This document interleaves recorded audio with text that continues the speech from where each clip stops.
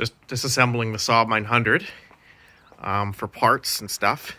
I thought I'd share this little um, tidbit that I learned um, as I was pulling apart the interior. Thought it'd get a few laughs. So I'm pulling the interior out. Obviously the uh, the fascia, the dash cap, and then the, the piece that goes underneath where, the, where your feet go. Um, all the bits are, you know, scattered around.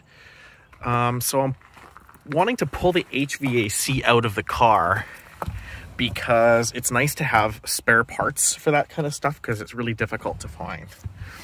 So um, I'm looking to get the HVAC out of the car. Um, obviously, this giant um, evaporator box needs to come out somehow.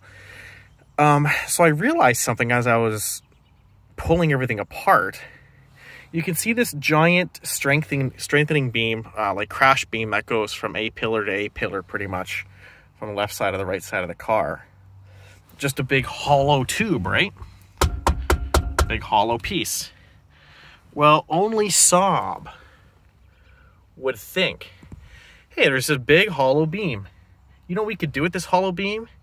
We could run the HVAC through the hollow tube so that we don't have to run ducting in the car. We can utilize this tube.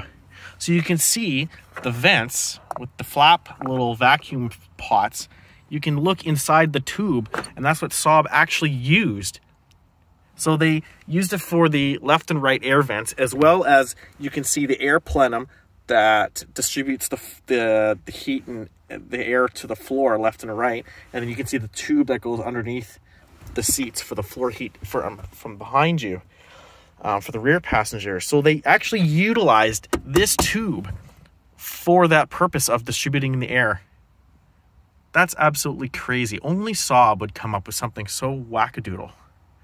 And it is genuinely a huge crash beam.